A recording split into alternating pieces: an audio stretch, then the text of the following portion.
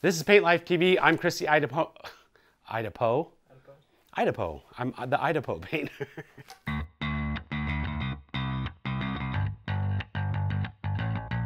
This is Paint Life TV. I'm Christy Idaho Painter, and today I got a really cool tool to show you. It's the Richards Gooseneck paintbrush. And you can see we've used this thing quite a bit. It's an awesome paintbrush, and there's a couple things that it does that are really unique. It bends, stays bent, and then it screws onto an extension pole. And where that comes in handy is a situation just like this. I've got a light in the center of this vaulted ceiling right here, and I could get up there and cut it in with a ladder, but I don't have access to it because there's some furniture right here I cannot move. It's all covered with plastic, so I'm gonna use this really cool tool to cut in around it. All I gotta do is screw it on an extension pole.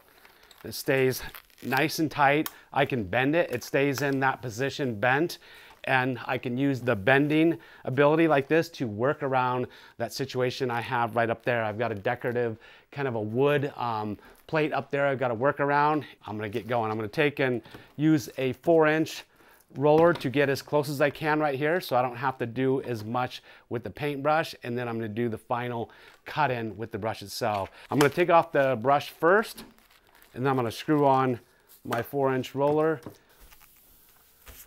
once I get ready to start doing the cut in with the brush, all it is is just being really patient. Just take your time and have a steady hand. So I did the bulk of it right there with the four inch roller. Now it's gonna take two coats too. Now I'm gonna take my four inch roller, remove that. I'm gonna put on the gooseneck and I'm gonna load the gooseneck up in the bucket and get it up there, start doing this cut in.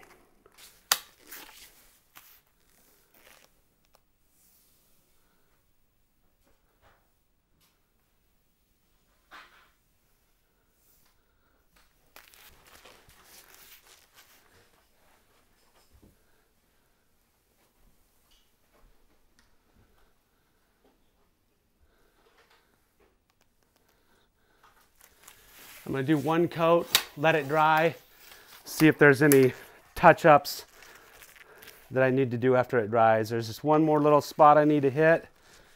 Looks like I'm gonna have to take and bend my brush a little bit. You see I got my brush bent at a little slight angle, gives me ability to get right up next to that. Now I think I got everything covered on that side. Like I said, I'm gonna let it dry come back, check and see if I need to put on another coat, but I got it right up next to that board, looks pretty good. It's the gooseneck brush right here from Richards. You gotta check it out, it's a must have. We use these things all the time. This is Chris the Idaho Painter here on Paint Life TV. Hopefully you've enjoyed this video. If you have, give us a thumbs up, like us, subscribe to our channel. It's free and easy to do. We'll see you on our next video. Out.